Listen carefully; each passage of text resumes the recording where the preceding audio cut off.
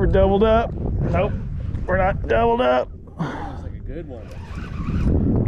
He's swimming up now. Then he does a couple good pulls down. I think I got him. He's at 50 feet.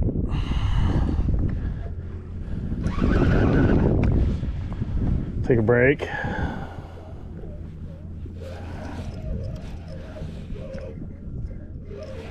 It's fighting like a copper, not a lingcod.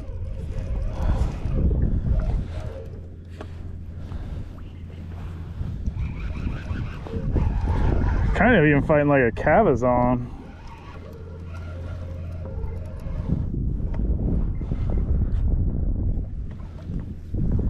Oh, big copper. Copper.